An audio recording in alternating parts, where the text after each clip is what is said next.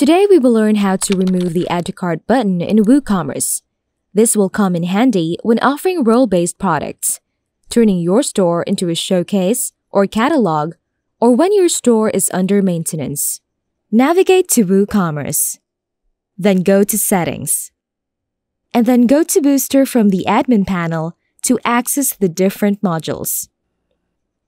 Step 1. Enable the WooCommerce Add to Cart button visibility module.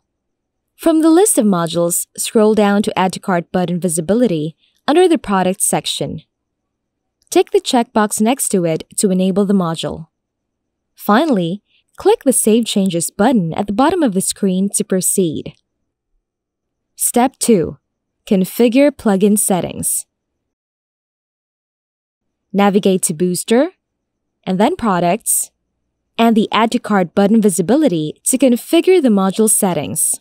You can choose to remove the Add to Cart button for all products by ticking the checkbox next to All Products. Select the Disable buttons on Category or Archives Pages checkbox to disable the Add to Cart button for all products on Category and Archive pages on your store.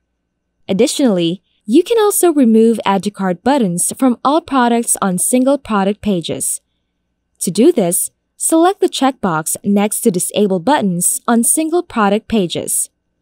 You may also choose to remove the Add to Cart button for a specified product by selecting the checkbox next to Per Product.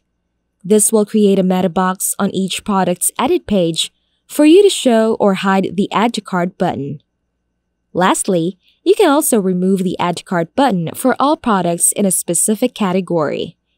To do this, select the checkbox next to Per Category and click the Save Changes button to continue.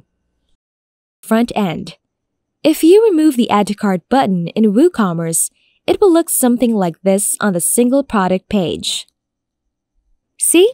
That was easy. Thanks for watching our video. Visit the link mentioned below. Please subscribe to our channel and ring the notification bell.